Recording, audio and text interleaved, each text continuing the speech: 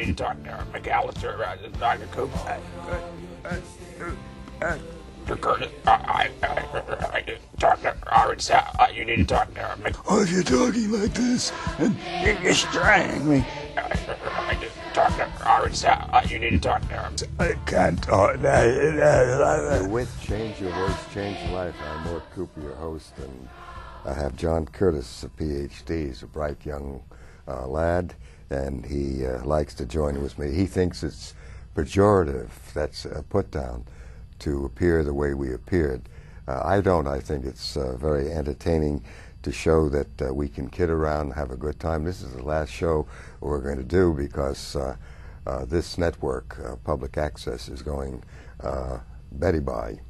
Uh, John, Don't you find that ironic that public access would be going down the you know down the drain that they wouldn't fund that because that's the only thing that keeps the public it keeps these politicians um, legit. I mean, where else can people John, the world out? is the world is going down. What is the title that you came this up is with? fra- John, well, the director. The other John, uh, Yeah. we credit him with The other fra- John, the fraud in your throat, fraud, fraud in your throat. like Uh, frog in your throat, Yes, fraud. But I love fraud in your throat. The whole society is into fraud. Our society is falling apart. It is it is cratering financially, vocally. I'm the only doctor in the world. I'm sorry to uh, tell you this. Uh, that is reporting cures ongoing for 35 years. I was just up at UC San Francisco on October 18, 2008, and the title was 35 Years of Curing Spasmodic Dysphonia. The strength, you can't talk like that. And the medical profession worldwide, academia, my field, ASHA, uh, says it.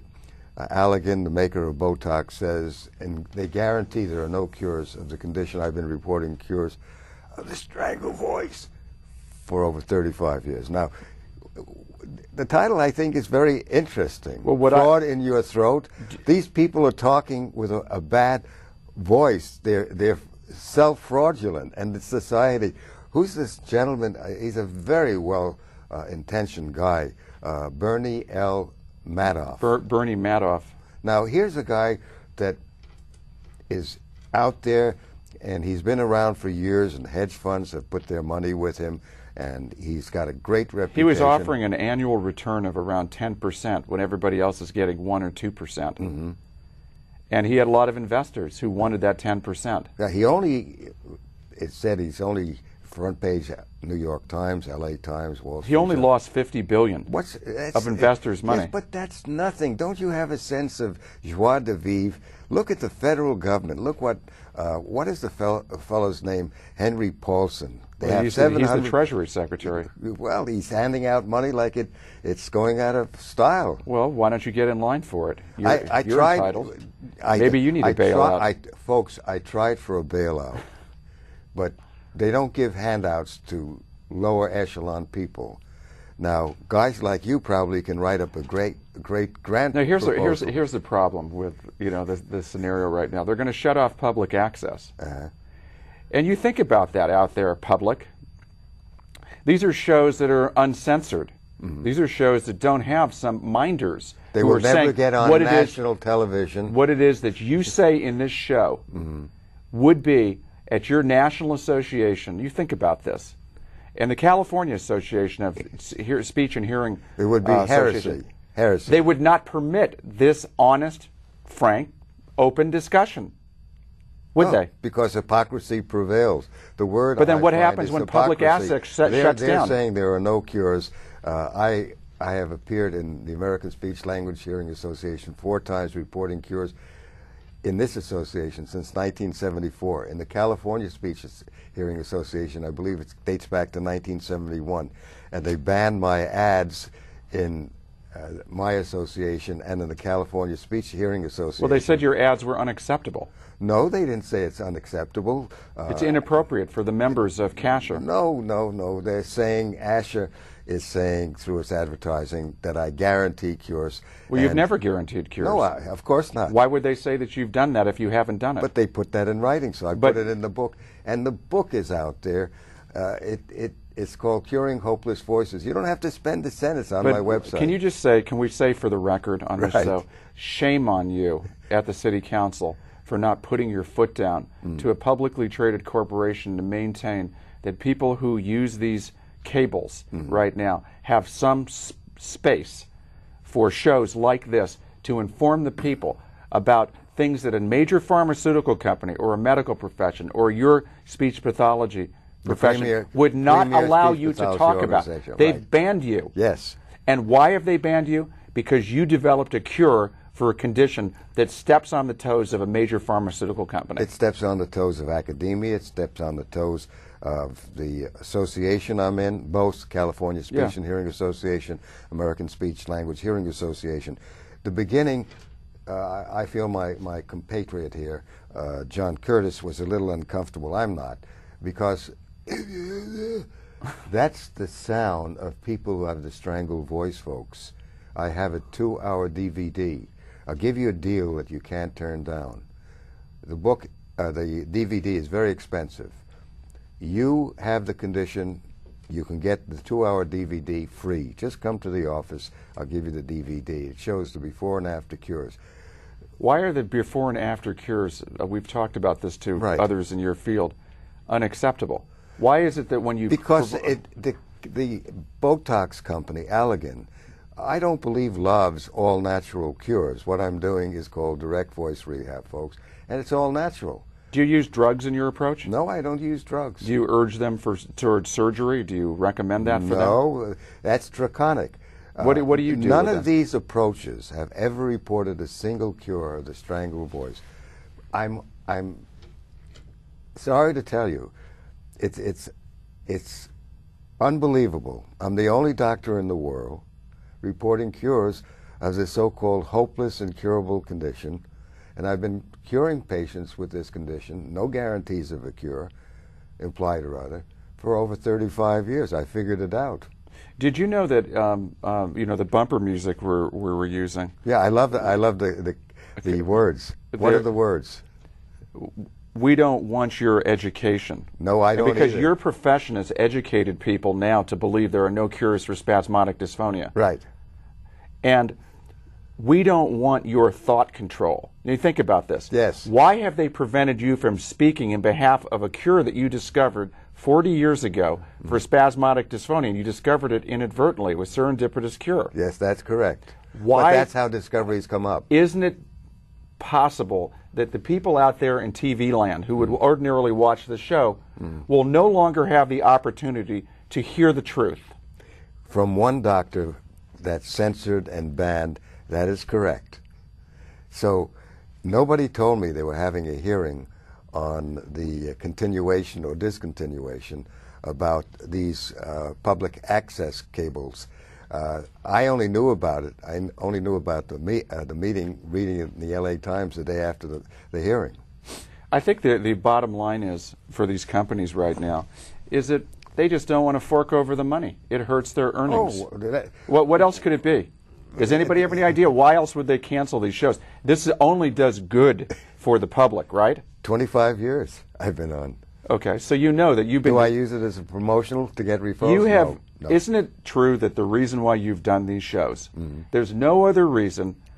We don't know what the motives or other people are, Mm-hmm. but we know what yours have been, is to disseminate unvarnished information about cures of spasmodic dysphonia. to let them know there's choice. It's out there. The There are medics don't give them choice. Yeah.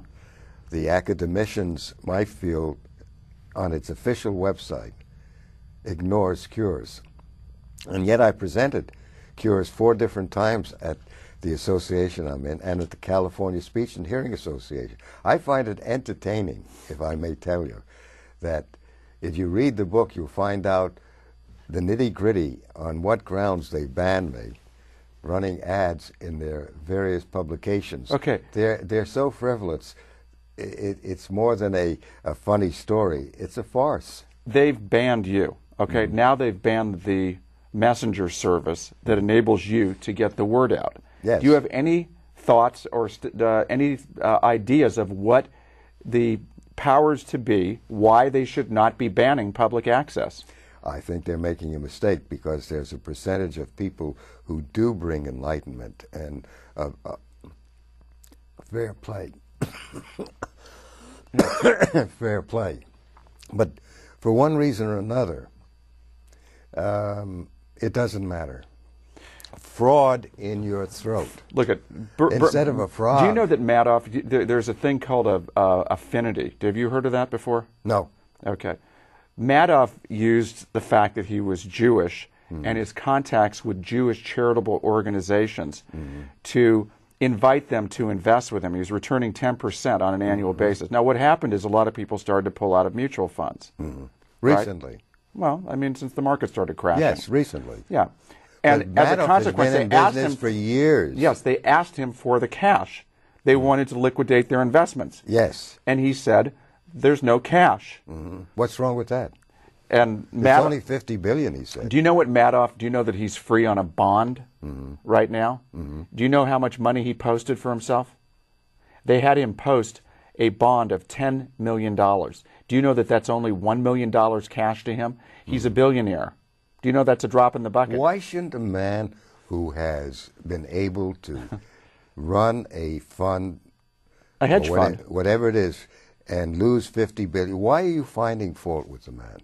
I don't understand why you're critical. Why are the newspapers all in a frenzy? Folks, it's only 50 billion.